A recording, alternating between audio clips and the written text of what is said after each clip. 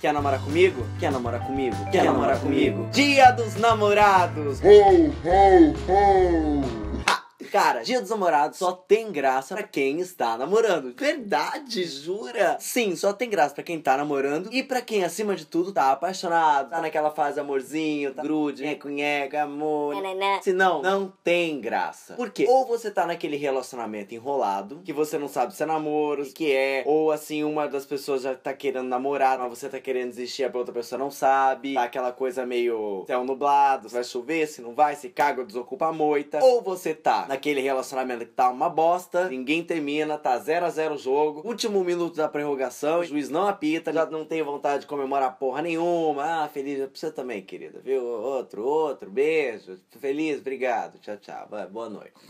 O homem já tá naquela fase DVD, deita, vira e dorme. Ou você está solteiro, livre na pista,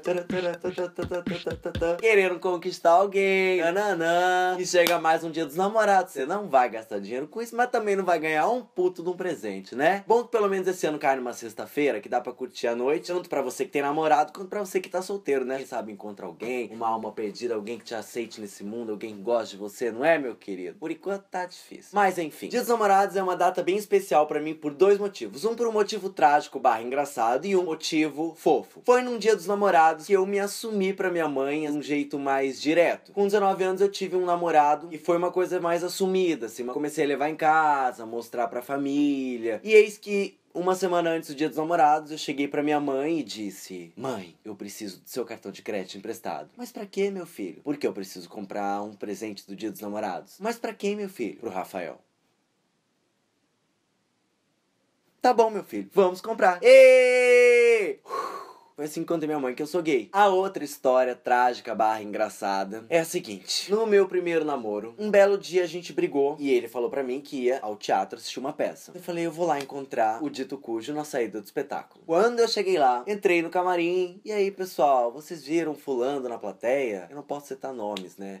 Vou criar nomes fictícios. Vocês viram o Chico Bento por aí? Chico Bento é meu namorado. Vocês viram o Chico Bento por aí? Ah, a gente não viu Chico Bento, não.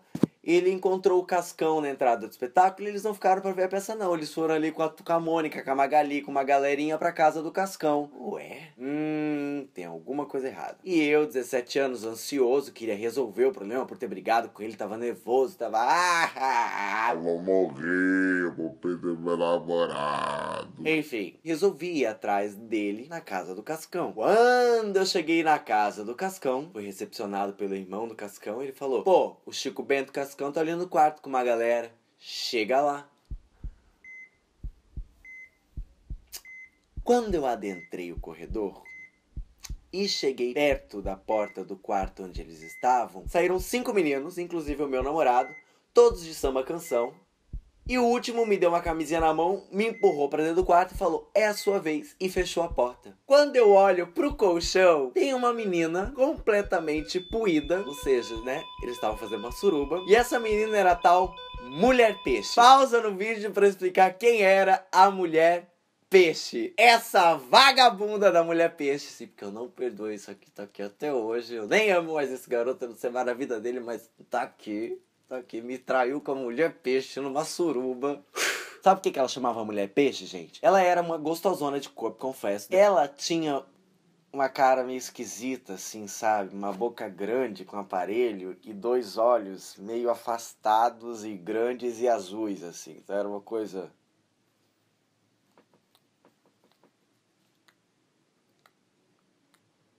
Era por isso que a gente chamava ela de mulher peixe. A verdade é que ela era uma vagabunda lazareta, daquela que não quer saber se teu namorado é vesgo, torto, alto, baixo, anão, gordo, cavalo, égua, mosca, ela vai dar em cima. A puta pegou todo mundo do teatro, ela passou o rodo do anão ao cara que guarda carro do lado do teatro. Ela não perdoou ninguém, inclusive meu namorado. Enfim, essa mulher peixe vagabunda tava lá com aquela cara de sonsa deitadinha no colchão, toda lambuzada de porra, aquela nojenta, ui, porca. Aí ela, ai, vem cá, deita aqui comigo. E eu branco, pálido, nervoso, tremendo, com ódio, com sei lá o que que eu tava sentindo naquela hora. Eu, eu fiquei tão chocado que eu sentei na beiradinha da cama, assim. Eu olhei pra ela e falei, você acabou de transar com meu namorado. Pausa pro teenager chorar. Foi pesado. Olha aqui, eu vou dar dois minutos pra você sair desse quarto, que eu não quero que me veja chorando e foi embora e você cala sua boca. Não fala nada. E saí de lá em choque, com de matar esse menino e essa mulher peixe do capeta. Aliás, gente, olha só. Você aí, piranha ou piranha de plantão, entendeu? Meu filho, para de cutucar a horta alheia. Isso não é legal. Olha, eu já traí, já fui traído. E posso te garantir, não é legal. Nem para quem trai, nem para quem é traído. Tenta segurar a precheca, tenta segurar as pregas do cu, tenta segurar a vontade. O mundo tem 7 bilhões de pessoas. Por que, que você tem que pegar alguém que tá ali comprometido? Ah, mas a pessoa comprometida também quis. Então por que, que você tá comprometido? Não solta, não deixa a pessoa ser feliz também. Gente, não dá, né? A gente atrai para nosso mundinho aquilo que a gente tá dando pro mundinho dos outros, pro nosso mundinho também. Não é? Vamos parar de ser piranha e ser piranha? Eu já tive carteirinha de piranha. Já representei a classe, viu? Enfim, mulher peixes à parte, vagabundas piranhas e piranhos à parte que atormentam o namoro alheio. Vamos ser felizes, namorando ou não. Que você encontre o seu par encantado logo, seu príncipe manco do cavalo preto, do cavalo branco, Sérgio Malandro, seja lá quem for, vai. Contra essa tua alma gêmea, metade da laranja, do caqui, do abacaxi, não importa. Vai, procura o que você acha. Ou relaxa. Nada como você namorar a si mesmo e aprender a admirar a sua companhia. Não é ótimo? Uma punhetinha ele resolve tudo, meu amor. Bate uma seririca, brinca de DJ. Resolveu a brincadeira. Um beijo, se inscreva no canal, deixa seu joinha, deixa seu like, isso é muito importante pro crescimento do canal e me ajuda, quem sabe, um dia eu ficar famoso e conseguir. Ah, sei lá, vai que o Zac Efron resolve mesmo eu tenho um contrato com meu namorado que o Zac Efron tá liberado, entendeu? Zac Efron é o Zac Efron, né, gente? Porra, o cara é gato pra caralho. Então vai que o Zac Efron resolve assistir meu canal de tantos joinhas e likes e inscritos que vocês me deram. Ah, ah, ah. Que meu namorado esteja vendo esse vídeo. Acesse meu blog, que lá sempre tem notícia de gente famosa, notícia de look, para você que só usa croque, aprender a se vestir melhor, entendeu? Feliz dia dos namorados e até o próximo vídeo e...